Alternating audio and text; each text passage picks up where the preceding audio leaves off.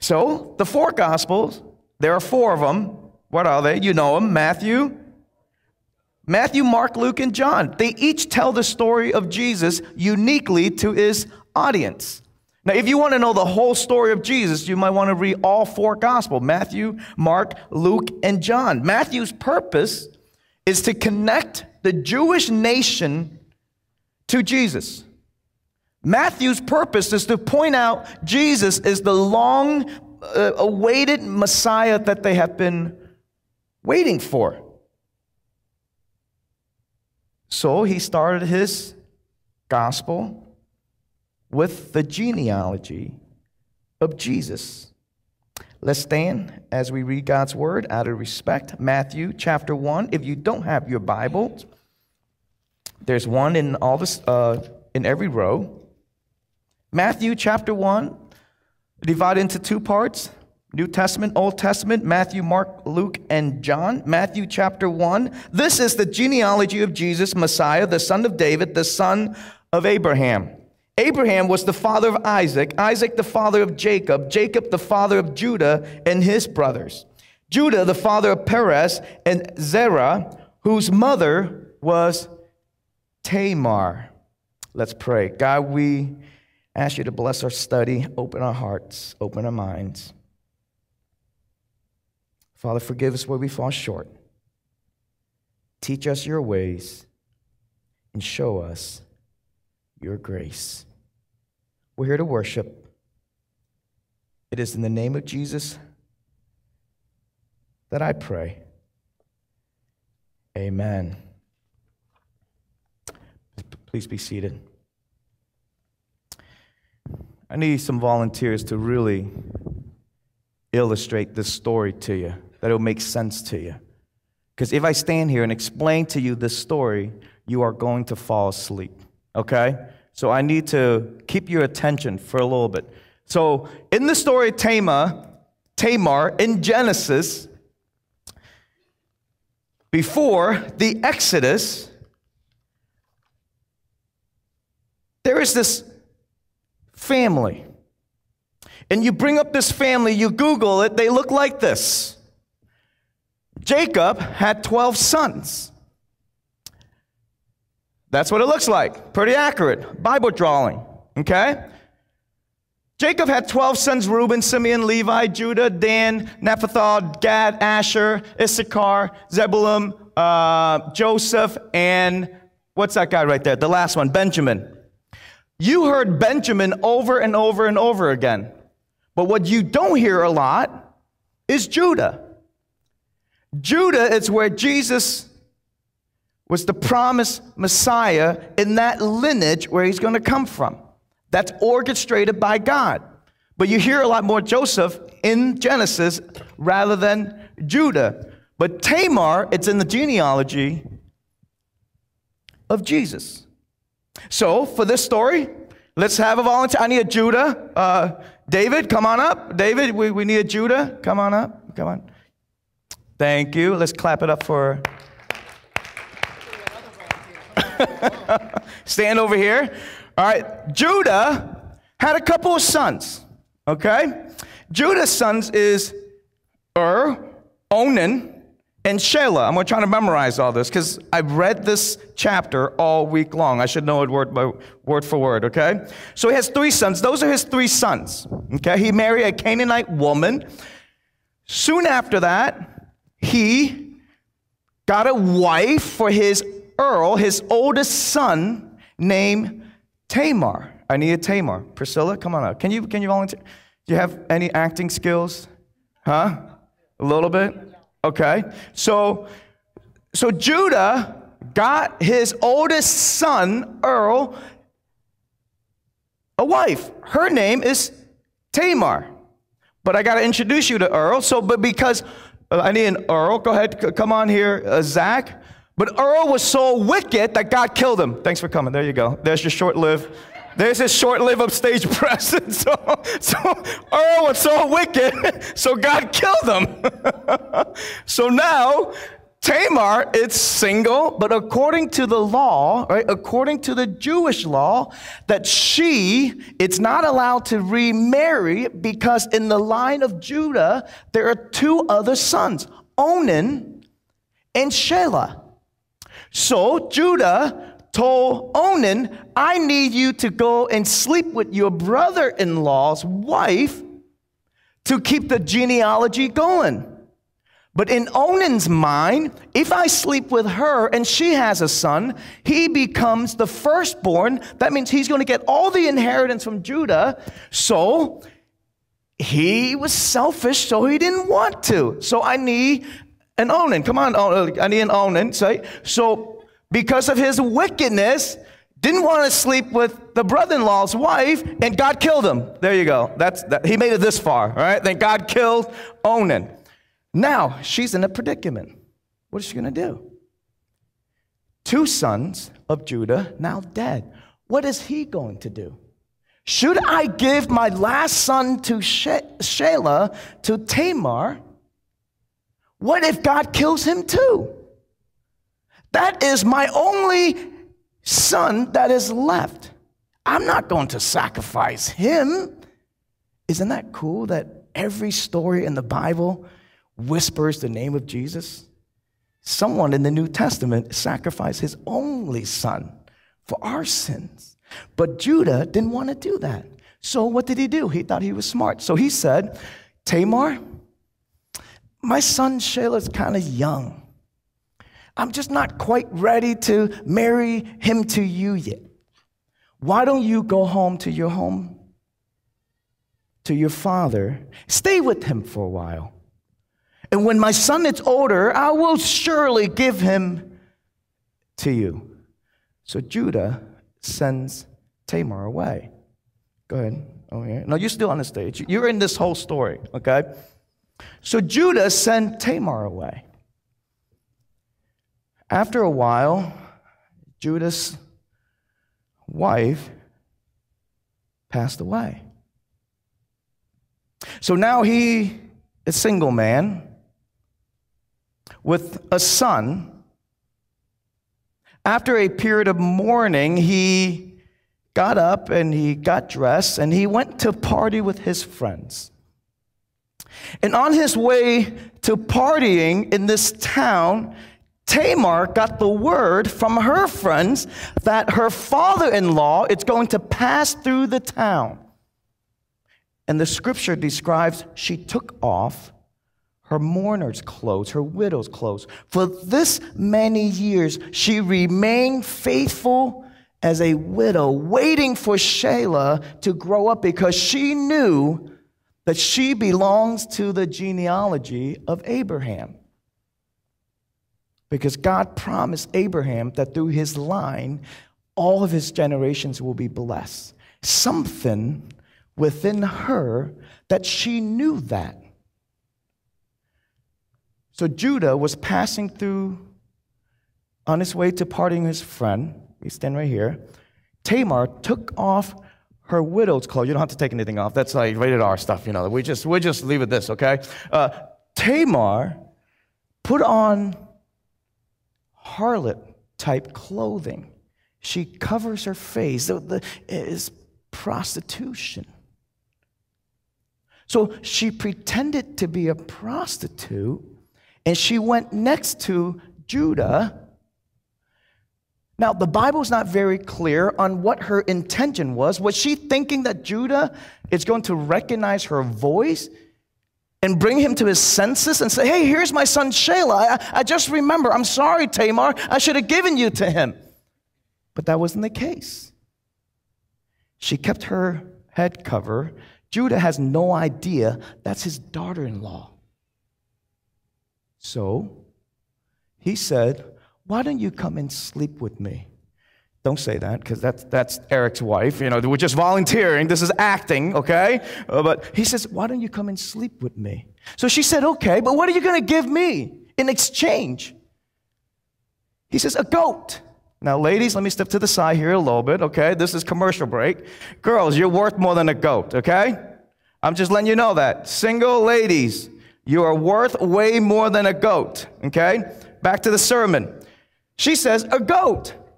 He says, a goat. And shrew, smart, educated, faithful woman, she would respond like any smart, faithful woman would. Well, what are you going to give me until I get the goat? How about you give me your, your staff, your signet ring, and your cord? That's a sign of royalty. If you give, if you are in high position and you give away your staff and your signet ring and your cord, that pretty much means you're giving up of your position. An irresponsible man, an irresponsible father, and ultimately an irresponsible person who is from the line of Abraham, who shows no regards that his position, his seed, was supposed to continue the line of Abraham. So he gave up his ring, he gave up his cord, and he gave up his staff. Every story in the Bible whispers the name of Jesus. The son came home after squandering all his possession. The father runs out. And what did he do? Give him what? The robe. Give him the ring. Restore him into his position at my household. The story of the prodigal son. Now, he slept with her and he went away. She took the cord, the staff, and the signet ring, went home. He had a great night of partying with his friends. It went back. Three months later, he got the word hey, your daughter in law, Tamar, is pregnant. She was a prostitute. In his mind, this is my way out. This is my way out. I don't have to marry her my last and only son because he might die because I saw what happened to the last two sons. So I see a way out. Well, she's a prostitute. She violated the law of our people. She was supposed to wait until I don't have anybody left to marry her to. So she violated the law. So now here's my opportunity. I am going to put her to death. So he summoned his friends. He wanted to make a spectacle of her. He brings her out. Come on, come on now. And he says, You are no longer in my family because you committed adultery. And she says, No, no, no, no. I'm bearing the seed of the man who owns these things. So she brought out the cord, the signet ring, and the staff. And he realizes he's the one that has been committing all the sins. She knew something he didn't know. She knew the promise of Abraham. He neglected the promises of God. And he says one line in that whole story she was more faithful than I am. And he restored her into his household, and she bears him twins. You can be seated. Good job, guys. And that is the story of Tamar. Later in Genesis chapter 48, verse 8 to 12, this is the promise of God. You can see it on the screen. Judah, your brother will praise you. Your hand will be on the neck of your enemies. Your father's son will bow down to you. You are the lion's cub. Judah, you return from the prey. My son, like a lion, he crouches and lies down like a lioness who dares to rouse him. The scepter will not depart from Judah nor the ruler's staff from between his feet until to whom it belongs shall come, and the obedience of the nations shall be his. He will tether his donkey to a vine, his colt to the choice branch. He will wash his garments in white with in wine with robes in the blood of grapes. His eyes will be darker than wine, his teeth whiter than milk. This is God's promise to the Israelites that the Savior is going to come from the line of Judah, and that's what's going to look like. We're going to get back there in a second. And Matthew said, the father of, the father of, the father of, and his wife, the mother of Tamar. In Judah's mind, Tamar killed his two sons.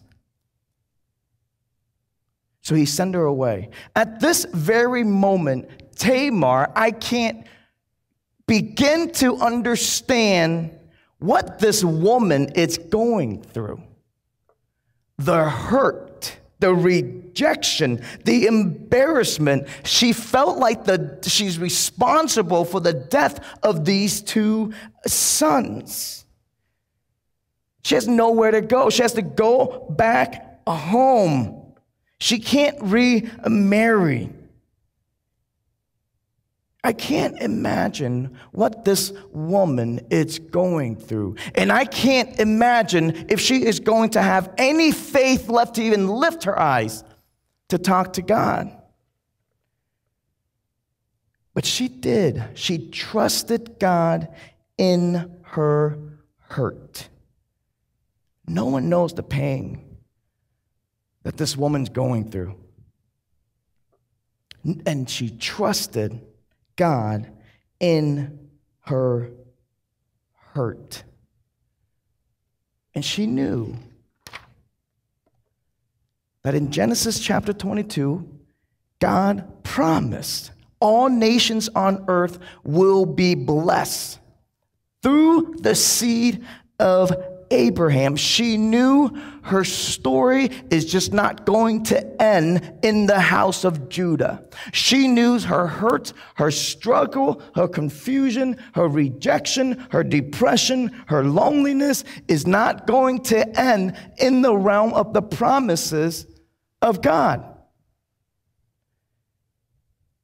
And some of you might go through this wondering, especially moms I hurt for the moms sometimes. Uh, you know, as a dad, when my kids get hurt, sometimes you kind of pay attention, but then you kind of brush it off because you're like this tough and dad, and you're my son, and you need to be tough. But I see my wife's reaction is completely different for my sons when they get hurt. So I feel it for the moms, and I can feel the certain emotion. Like I, I can't understand certain certain emotions that Tamar's going through, but I can hear. I can hear the hurt. How can I go on? And some of you might be sitting in this room today. Can God really love me through all this? Do I still play within His story of creation? Do I have a part do, do I still have a part in this uh, ongoing story within the scripture? I, have been through too much. I've been hurt. I sin. I'm, I'm lonely. I'm depressed. I don't know how my life is going to move forward and how I'm going to make sense of this. And you feel like there's no point in praying, there's no hope in your future. Will any of this make sense? And I wish I had the secret button and just turn all those thoughts around and, and make you feel better. But I can tell you this those are the moments in life. You lean in a little closer, you lean in a little bit, and you remind yourself of Romans chapter 8. And we all know that in all things, come on, read it out loud. And we all know that in all things, God works for the good of those who love him, who have been called according to his purpose. That when life gets rough, there's no motivational speaker. There's, there's no motivational quotes. It's going to require you to lean into your faith and trust God in your hurt. Verses like John chapter 14 I will not leave you as orphans. I will come to you before long. The world will not see me anymore. You will see me because I live. You also will live. I love coaching. I really do. And the best part about coaching is it's the obvious, right? The influence of, of a young person's life, hopefully for the better. And the obvious reason is like commitment and hard work, the sacrifices you make. Those are all good. But the best lesson you can teach a young person in the game of sport, any sport, is that it's not over until the buzzer goes off. That it is not over until the buzzer goes off. You are always in the game until the buzzer goes off. A couple years ago, we played the number one team in the country, Paul the VI out of Virginia. It was a very sought after tournament, and we were invited, and there were 30 some college coaches there watching from every level. We got down by 15 in the third quarter. My starting point guard, who was being recruited by Division 1 schools. In the third quarter, we're down by 15. From half court, she walked off the court, sat next to me on the bench, and took her shoes off. So I turned to my assistant. I said, You better take her to the end of the bench before I embarrass her in front of everybody and ruin every chance she's going to get of being recruited. So he took her and brought her to the end of the bench, told her to put her shoes back on, and calm down. She didn't continue that game with us. And she didn't continue that season with us. A couple years later, I was disappointed that she stopped playing altogether, didn't get recruited. That year, we went on to the state Final Four and won our district and all that good stuff without our starting point guard, a Division One point guard. And I tell you that story because what if we treat God like it's a game when things aren't going well and when you feel like you're down a couple of points, you just take your shoes off and you call it quit. But the journey of God, like Tamar, when things get tough, when things seems like it doesn't make sense anymore, when things seems like how am I going to get out of this? You tighten up your laces and you say, God, put me in the game. Those are the players I want, and certainly those are the players that God wants because when things get tough, He doesn't want someone who's going to loosen the lace and say, I call it quit. It's not worth it anymore. No, he wants a Tamar who tighten up her shoes, who put on her clothes and say, I'm going to wait. I'm going to trust because I know what God's word is for my life. Put me in the game. You trust God in your hurt. And when you trust God in your hurt, this is so important for you to understand this because it's not even about us anymore. For Tamar, it's not even about her anymore. It was about continuing the line of Judah. If it wasn't for Tamar, we don't get Jesus. And it hurts for her. But she knew because when we trust God in our hurt, the world trusts our faith. When we trust God in our hurt, the world trusts our faith. You notice no one ever listens to the advice of someone who thinks going well all the time? But you seem to listen to those who's been there, fail and fail and fail over and over and over again. And then they made it. How did you do that? Tamar pretended to be a harlot. She saw an opportunity to continue the line of Judah, where Judah was neglecting his promise from God.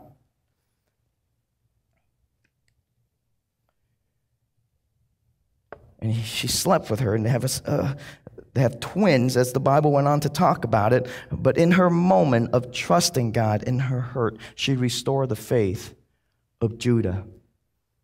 Because he says, She is more righteous than I am.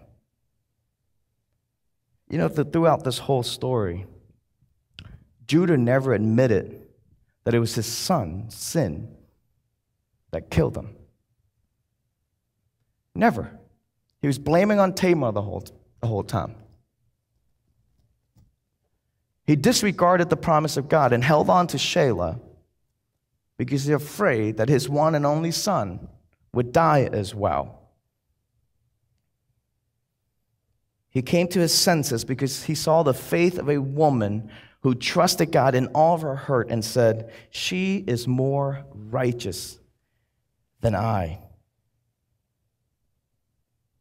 Because when we trust God in our hurt, the world trusts our faith. Joshua was, was born in a, with a heart condition. That one of his heart valves was too small, so it wasn't pumping appropriate blood to the rest of his body. An interview, in an interview with the Sports Spectrum, the mom says, according to the Mayo Clinic, there's nothing else you can do. That Joshua is going to live with this condition forever. He might not get to play sports. And the mom decided that she's going to dedicate her son to God. Like, this is not my son, this is, this is God's son. But we're going to love him, we're going to raise him, we're going to let him be as normal a little boy as, as he can. We're going to put him into sports. But we're going to keep an eye on him, but we're going to keep, put him in sports. And they dedicated that boy, Joshi, to the Lord. The father, Josh, who says to the interviewer, There is absolutely nothing you can do except pray.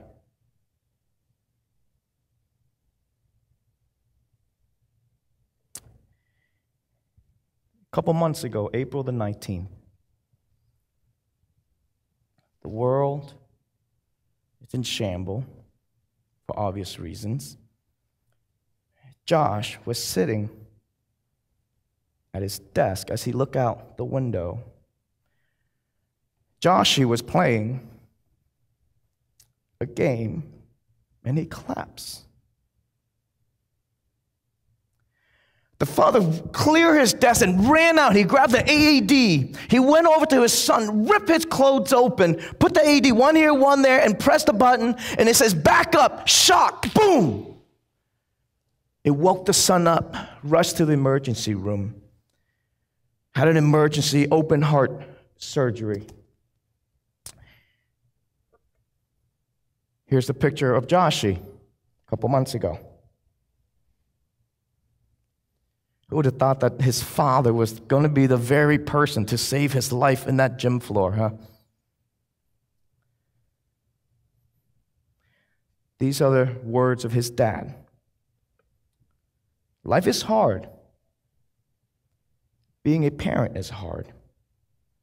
This world is hard. But God, it's harder. Today was a very difficult one, not knowing if your child would make it or not. I just copied this straight from his Facebook. Trying to be strong for my wife, communicating with others when I'm not certain. Prayer, scripture, church, family, faith, Jesus, God, it's real. Anxiety, worry, pain, depression, defeat, uncertainty. If my son is going to come out of this surgery alive or not, it's real also. But I am amazed at the God given gifts, talents, and abilities of those who fix his heart. Amazed by my God who is faithful and able, to do more than I can ask or even imagine. Yes, life, it's hard.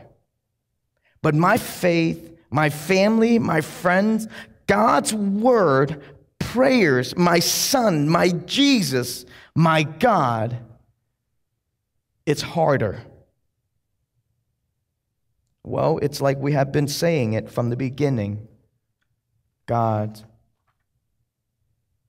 got this.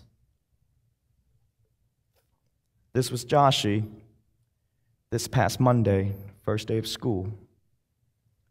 They only live like 2.5 miles from here.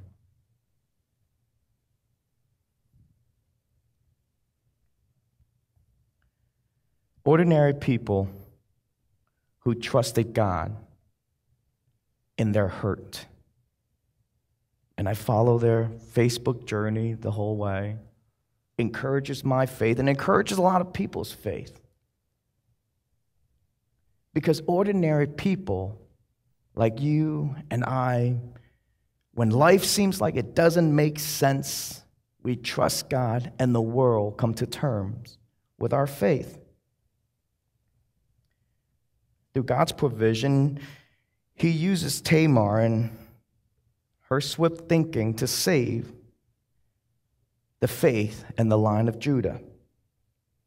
This is a, testament to really God's constant mercy no matter how flawed and sinful you are, God can still use you. And you know that and that's not because of our own effort in any way or our own doing or any type of our talents. It's, it's simply God's way of offering us grace, forgiveness, and the opportunity to repent. No matter what you've done or where you've been, and believe me, I've seen it all. I heard it all. I've been down that road as well. God's loves and he loves you and, and his plans for you doesn't change. Tamar's name means literally date palm. The kind of palm that produces this sweet honey that God promises people that when you enter into this promised land, it's going to be filled with milk and honey. And her name is the date palm, it's the honey that God is referring to. And then Jesus comes along. He set foot into Jerusalem, and they took the date palms, and he steps on it. And he looks into the city. He says, I am here. So they took branches of palm trees and went out and meet him, shouting, Hosanna! Blessed is the one who comes in the name of the Lord, the King of Israel. Jesus is your king today, yesterday, and tomorrow. He steps on the sweet honey that you've been waiting for because the way to get through the rough nights, the rough times, a rebellious child, a sick one in your family is to praise God in your hurt. And you tighten up your shoes and you say, My king is here. Put me in the game, God. Don't allow hardship to make you long to forsake God or to go back to Egypt. Turn towards Jesus, the land overflowing with milk and honey. Amen.